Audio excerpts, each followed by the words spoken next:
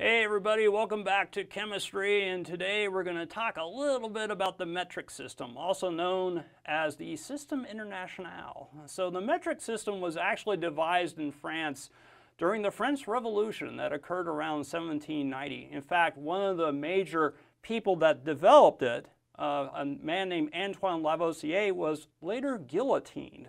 Um, so that was very unfortunate. Um, anyway, what the metric system in France is called is called the System International des Unités. And so we just call it the SI system for short. So back in 1790, what they decided to do is to define a meter as a base unit of length. And so they defined the meter as being exactly one ten millionth of the distance from the equator to the North Pole. Um, but now we don't really use that definition anymore. And so we ha have a preferred definition now that the length of a meter is equal to how far light travels in a certain small fraction of a second. So it's now defined that way. However, there are other base quantities, such as, for example, in addition to the meter, there is um, a base quantity for time, a base quantity for mass. Um, there have been standards set for these quantities as well. Um, I'm not going to talk about them. And so here's a kind of a fun picture of some portable standards for the meter and also the kilogram on the left, which are found in Paris. Okay, so what I want to do is review the base quantities that you'll be using a lot in chemistry. So there are seven base quantities which you need to know about, and then they have units associated with them. So for example, for the base quantity of length, the unit associated with the so-called base unit is the meter and its symbol is M. The base quantity for mass, you might think it is the gram. It's actually not quite that. It's actually a kilogram. And so you may know already that kilograms is equal to 1,000 grams. And so the symbol for the base unit of mass is kg. So one question you might ask is, well, why did they define the base unit of mass to be the kilogram? And I think perhaps the reason was is that most everyday objects are not so much measured in grams, but grams is a relatively small amount, but are measured in kilograms. And so that's what they decided to do. The base quantity of of time is measured in the unit of seconds. And then we have some other base quantities there. So for example, we're not going to go over electrical current in the first semester, but we may cover that in the second semester chemistry. And so the base unit for that is the ampere. Importantly, we will spend a fair amount of time looking over the base quantity of temperature. And the base unit for temperature is a scale called the Kelvin scale, which I'll talk about maybe in the next presentation. Also, the base quantity of amount of substance, the unit for that is the mole. And importantly, the symbol for that is not m, because if you had a little m, you might think that it is a meter.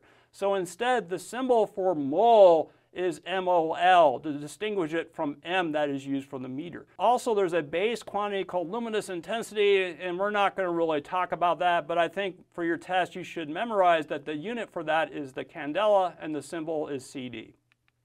Just a note there that for mass, the base unit for mass is not the gram, but the kilogram, and it's abbreviated kg.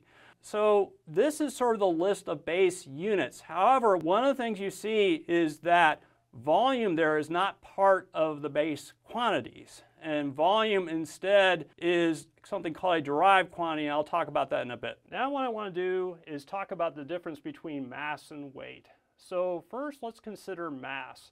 What mass is, is the measure of the amount of matter that an object has. And importantly, when you're thinking about mass, you should realize that that amount of matter that that object has will be exactly the same no matter where you measure it.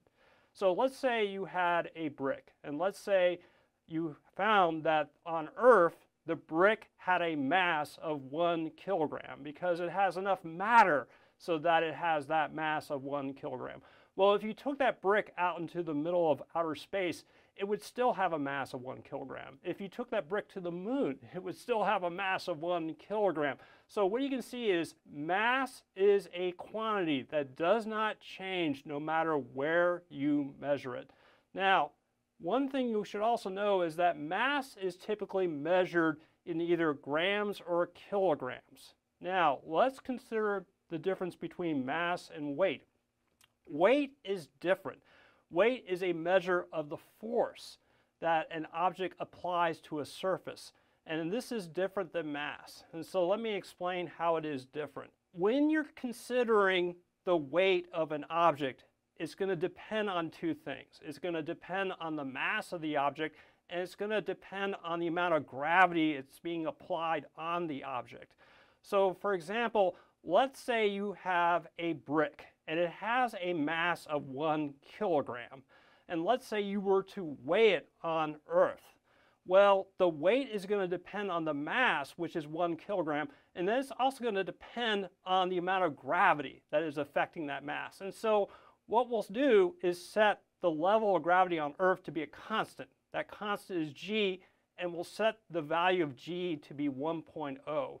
So the mass of the brick on Earth is one kilogram.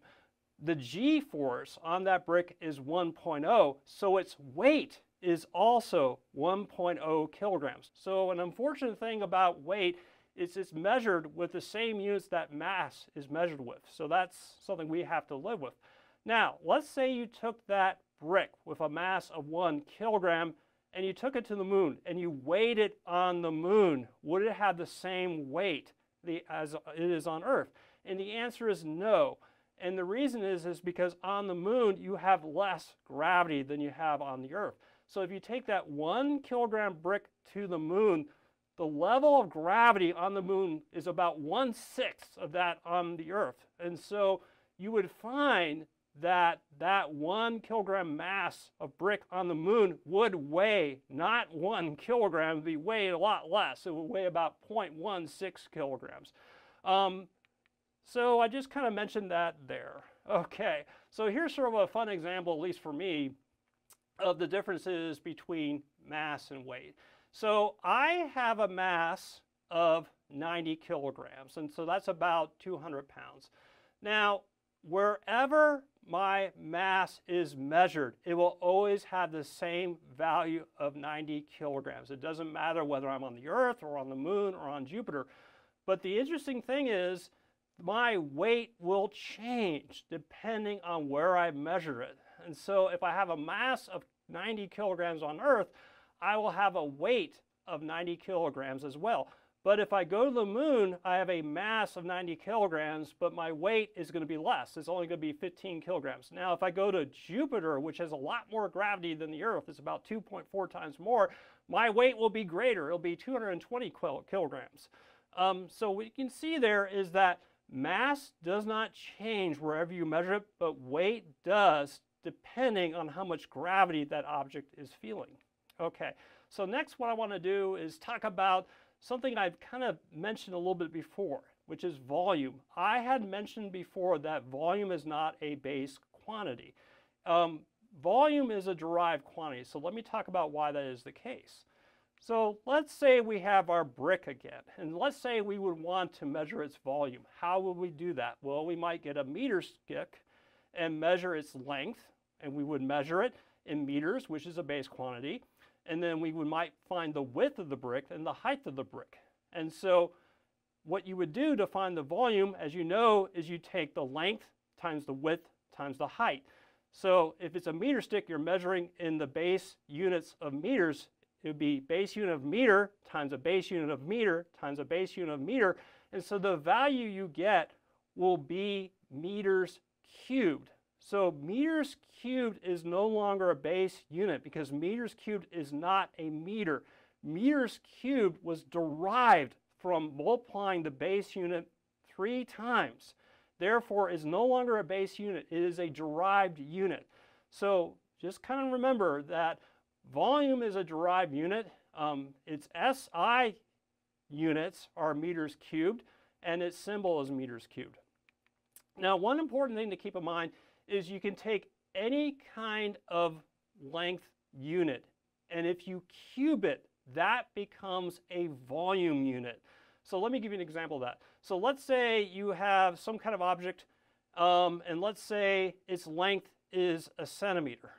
So if it's a box and each of the dimensions is a centimeters, you multiply a centimeter times a centimeter times a centimeter, and then you would have for the volume of that box centimeters cubed.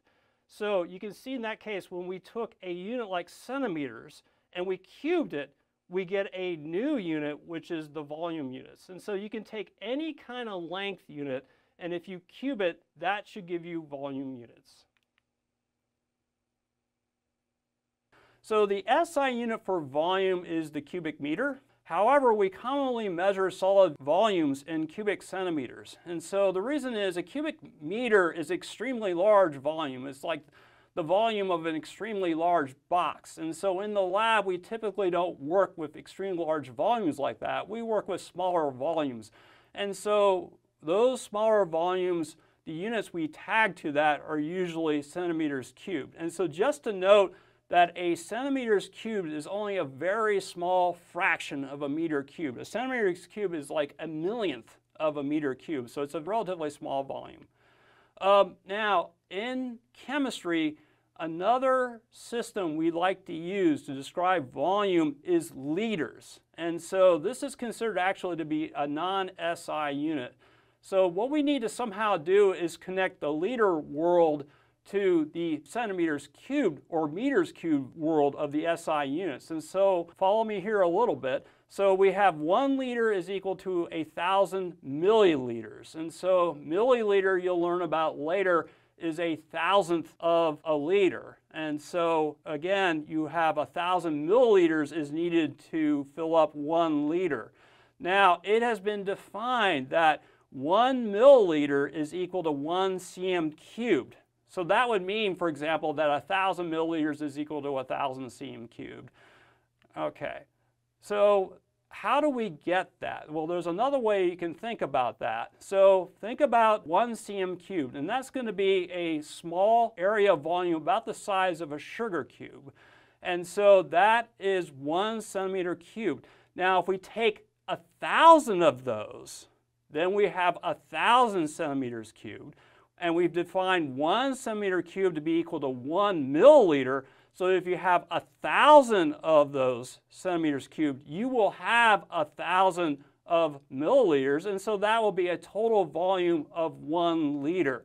So one liter is basically a one centimeters cubed where you have 10 of them going out in length, 10 of them going out in width, and 10 of them going out height to produce a thousand cm cubed, which is one liter. So one thing I would like you to do, and this is very important, is to memorize that one milliliter is equal to one centimeter cubed. That is extremely important, and we'll apply this in a lot of problems later. So thank you for listening, and we'll talk to you later.